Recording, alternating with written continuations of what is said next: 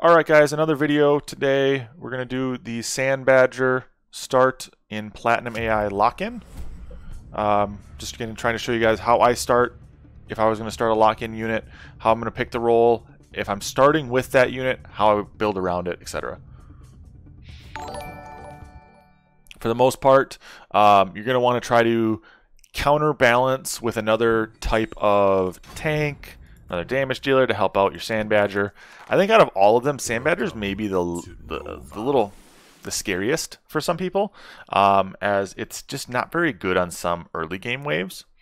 What I'm going to do though here, I think, is I'll take Sand Badger for a tank. I've got Great Boar for late game tank, and I've got Zeus with Ranger. What I'll probably do is start Sand Badger just to show you guys how I'd start Sand Badger. But with the Pulverize and Hero being on the board, I think what I do here is pulverize a Zeus and go late game Zeus Boar. Pretty simple. Maybe reroll, hope I get something to help Zeus out. For the most part, though, we're going to start Badger. We're going to start it a little farther back just so I can do a more of a correct Zeus start um, here in the mid game, even if it's just with Badger uh, and Ranger right away. We're going to do a king up. I don't think the bots are going to leak. They never do against me. Okay, so it did build build a gargoyle. That's a pretty safe start. I should hold pretty easily next wave as well as um, I will leak maybe four. I should hold next wave unless they double double send me. But even if they send me next, I'm okay with leaking next. My teammate will hold for sure. I'm going to play for the 3 and 4 sends. I think next leaking next is completely fine. Uh, if they send me 40, I think I only leaked like 20%. It's it's really small. Um, and I think we'll, we'll kind of go from there.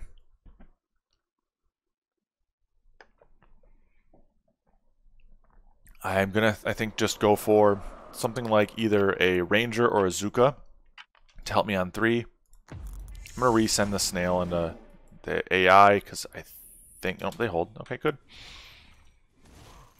What do we get for value?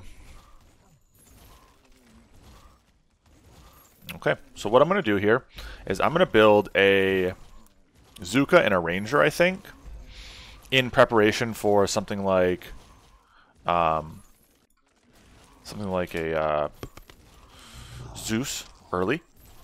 Because I'm, again, really strong next. I don't need to be too worried because my, my tank is extremely strong on wave 3. It's what I really need to worry about is wave 4, and that's where a Zeus or Daphne can be very, very strong. And I'm going to then also send on wave 4 into my guy. The AI went 5 worker as a Pyro. That's good to know. So then where are we at? I build that there, and then build the ranger right beneath it. And then build a split with a mask. I think the mask has to be a little lower though, obviously, because I'm not upgraded Zeus, but that's about right. You look at the range, this is about a square down from the Zuka, which is should be good. We get a Brute here, I think I hold all but Brute on this send. I don't know, though. I would not advise brooding into a um, into a Badger on 3, unless you're really thinking the per person pushed hard. As we're able now to push 2 off this, at least one, but I think potentially 2.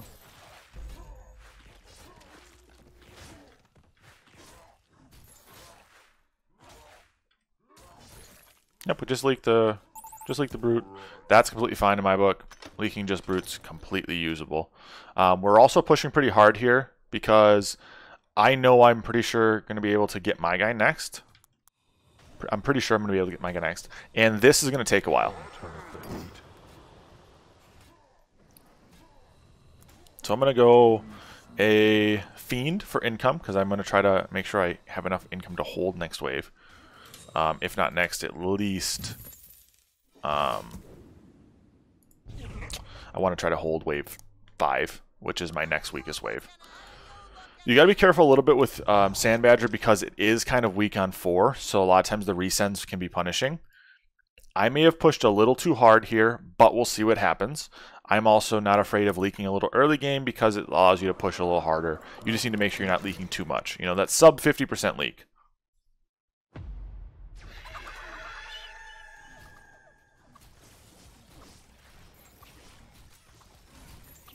This should be a hold, if not, hold close to it.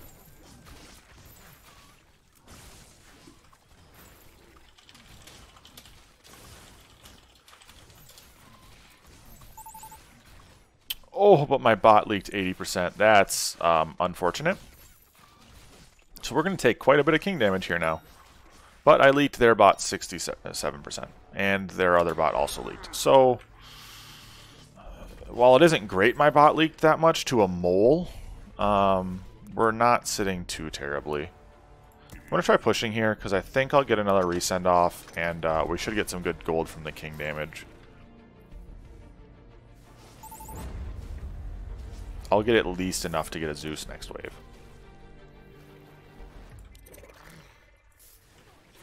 What'd he build? A consort, okay. So we get a Zeus here. The Zeus up here um, is going to be good now for the next two waves, which is perfect. Allows me to push really hard. Um, and I think we'll probably get a resend here and six by the AI. And I think I'm going to try to send my full Mythium on 6. My guy's really weak, as well as the enemy is. And so I'm trying to go for a full send on 6 here. I'm going to push 2 now off of a 40 cent. Now, you don't normally want to push 2 off 40, but I know I'm really strong next, and um, I'm overvalue already. So I think I have the ability to push a 40 here. He went Infiltrator. Bad on this wave, actually. It's kind of surprising. What I'm going to do, though, is try to... I think Brute him next. I think Brute's probably my play. What I'll do then is get the Brute, and then I'll upgrade my Mask Spirit here. So I have a little bit more damage for 7. And then what I'll probably do is either upgrade the Mask Spirit for 7 or upgrade the Ranger for 7. I'm not sure exactly which one I'm going to do yet, but um, both of those I think are, are solid options for my 7 game right now. Because the I already have a tank. I already have relatively good DPS on this wave. Uh, really good DPS on 6, actually. But And then I'm going to start planning for 7. I don't get enough to send another 40 Mythium, so I'm going to send just a single snail here. Because I think I leak my guy here. And I'm probably going to push off this 40, uh, 20 send. Another worker.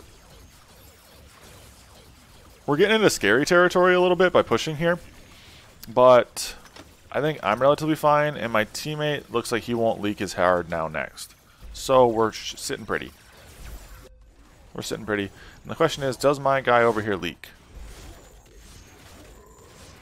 Does not look like it. Looks like a hold to me, or if if not a hold, very close to it. Depends on RNG here. Take a little bit, but it looks like it's holding. Infiltrator is really good on this wave. So I'm going to send another unit here, just so I have enough value. I'm going to full build here because I am very undervalued, as you guys can see. 75 under, though, with these units isn't terrible. What I really hope for is that they try to send me 8 and not here. If they send me here, I'm going to be a little bit worse for wear. If they send me 8, I'm actually really solid. Because I'll be able to up my Daphne, and then I'll get a um, Hellraiser buffed on, on 8. We'll see what they send. Zero here. Perfect. They're sending me eight, which is my stronger of the two waves.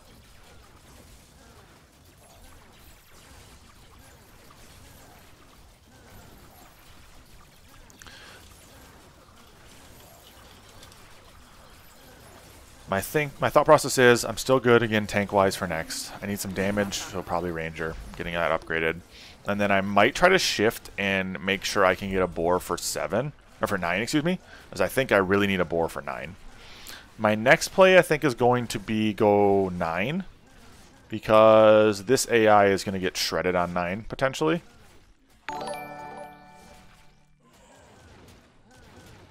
This long wave, though, definitely hurts my chances of holding next.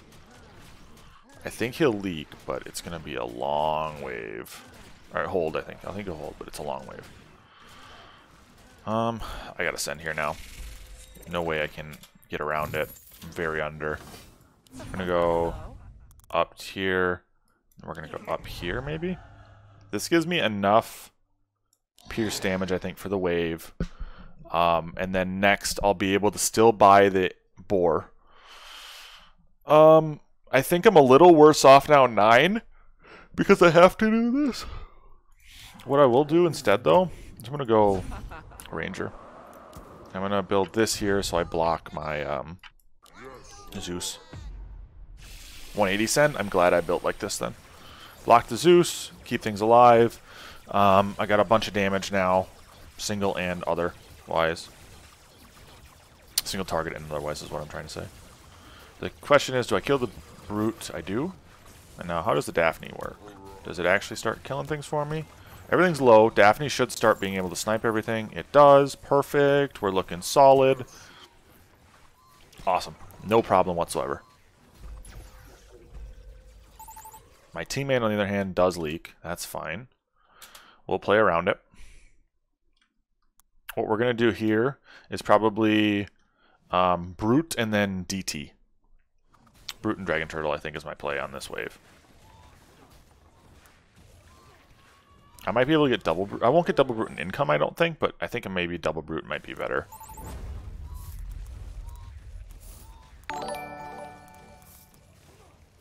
Yep, I get double brute in income. Sweet.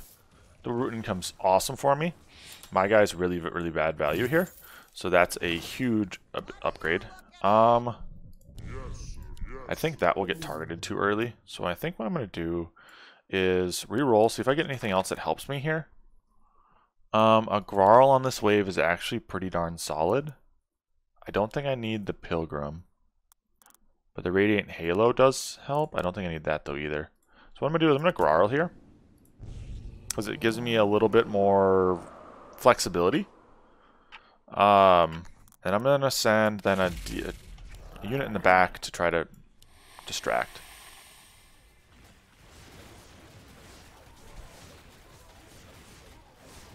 Distraction of this uh,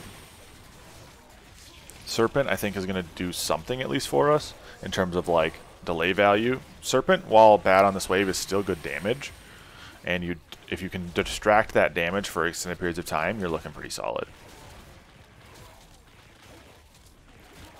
The Brute did get um, damaged because of the magic runoff, right, the, from the buzz. But we get a 50% leak, which is still really good. And looking at this, I want 11 next. And I think 11 next is my play.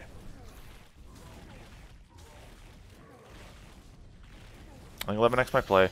Um, though I am bad on this wave in terms of value, we should be okay.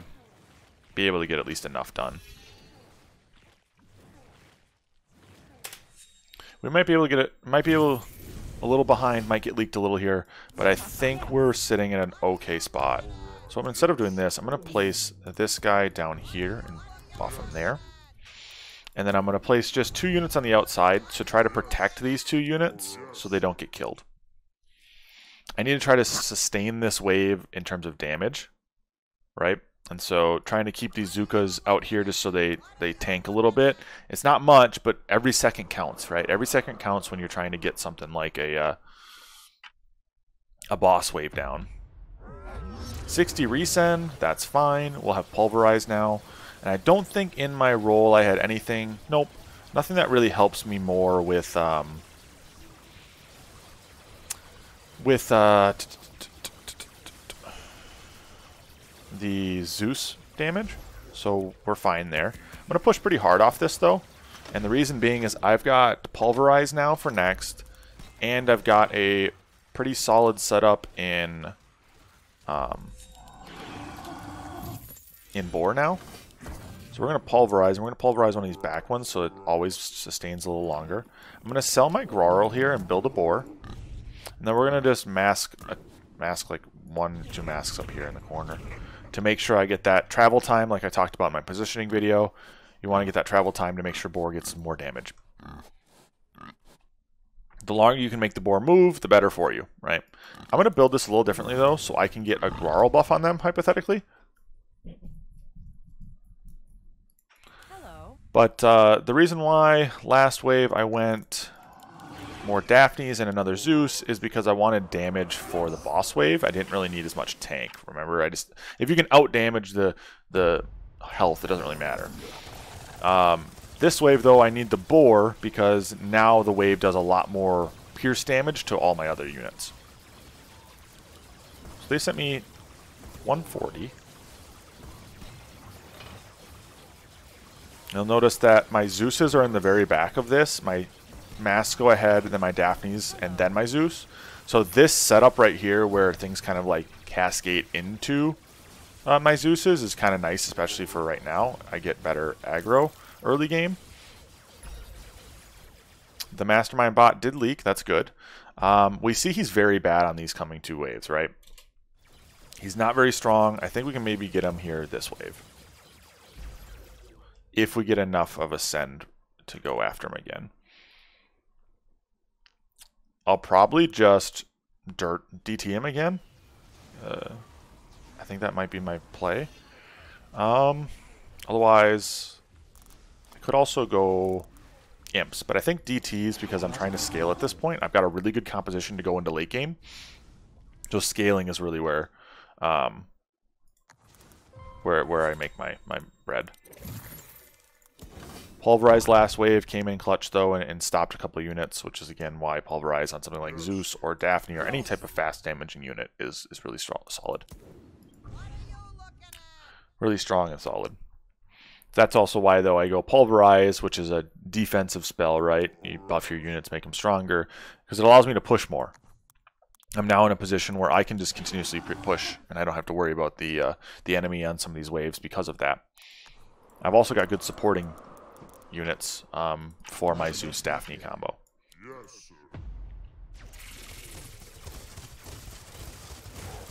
I think this this is a good example though of how sometimes just doing Sand Badger lock-in can really open up worlds because now I already know I've always got I've always got an arcane tank.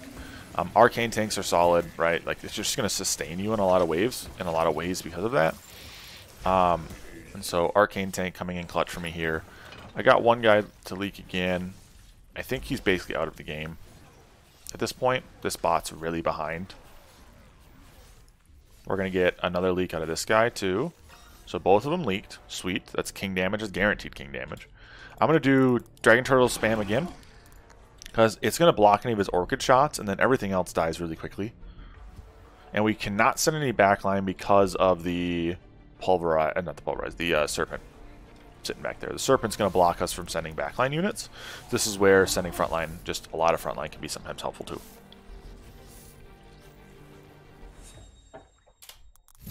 We are pushed really hard as well, so I'm trying to like make sure we can sustain our push.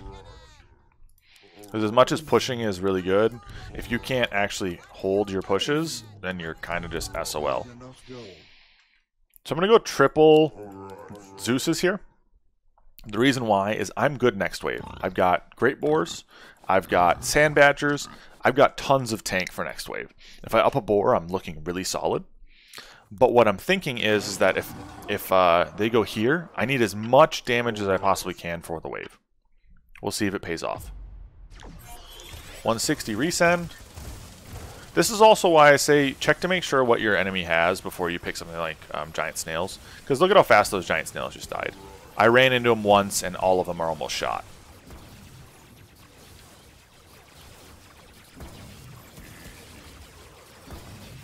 And because of Pulverize, these barely are doing any damage.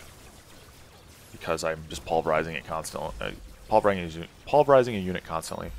Um, as I said, I think yellow's out of it, and I'm just going to punish. I'm not going to save or anything because yellow's just going to continuously leak for me. And if that's the case, I want to keep sending him. I'm just gaining income. We're gaining extra value. Every leak he gives me is extra money in my pocket.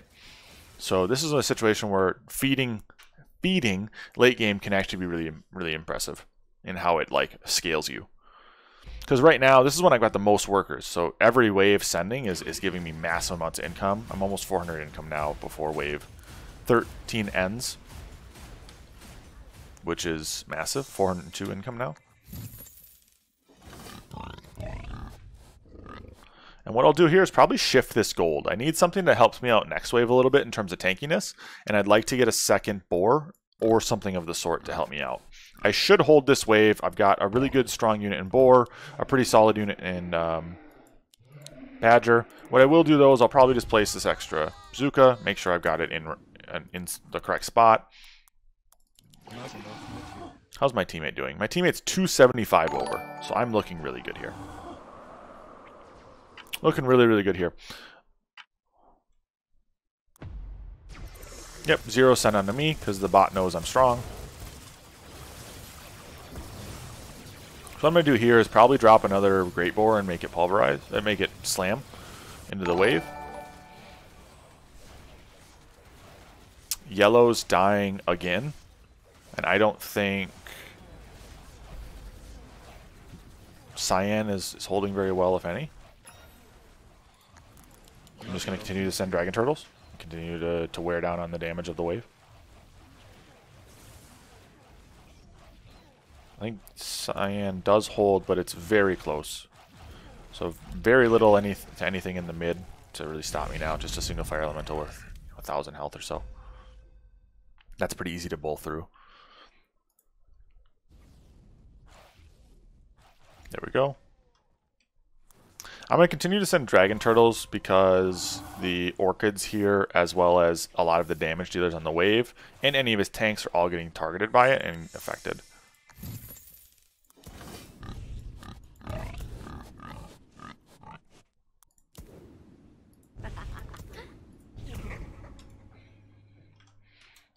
The biggest thing right now is you're almost negating, right? Like when you're sending orchid, uh, sending dragon turtles into orchids and um, green devils, etc.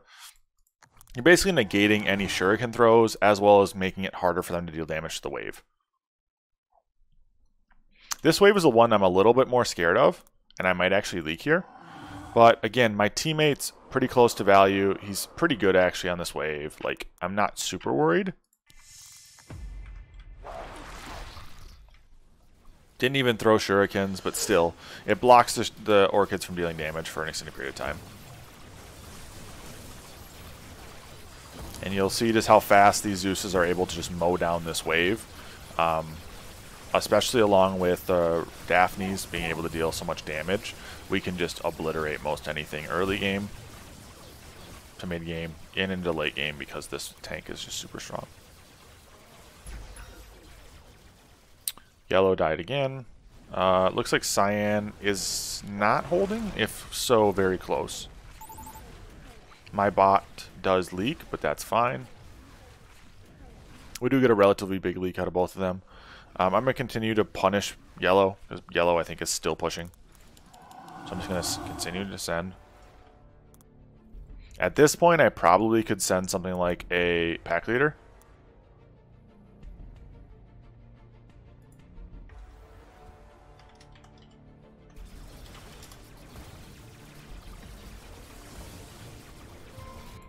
Probably looking at something like Pack Leader. This will not kill them. I'm just going to wait, get a Pack Leader after income. Build another boar. Build another boar. Push the remaining. I'm going to be solid here. The boar's going to do a ton of dam damage.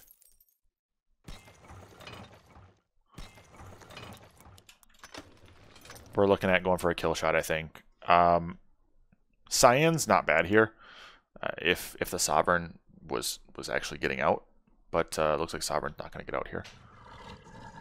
Get up, I should say here, up to completely damage dealing wise. Um, full mana, full mana bar is what I'm really getting after. It doesn't get its special ability, doesn't get the bonk. 220 resend. Ooh, they placed a boar just in a suboptimal spot. That's okay. They did Shuriken spam us, so that's another reason why we've been dropping so many, so many DTs. Shuriken spam does get stopped by DT spam. We are not even close to leaking here. We can basically just push as hard as we want. Though I do think the game ends here or next. We're going to push even hard. I think we can push even more here. With all the uh, leak here coming in, we're really strong next wave. I have no reason to believe we're going to die next wave. I'm just going to keep pushing.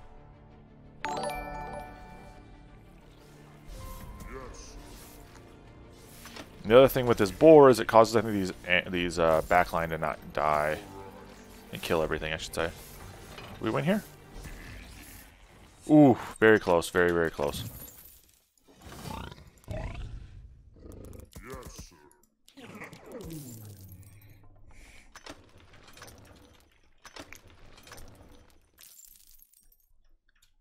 Hmm. Could, I'm just gonna send here. It's fine.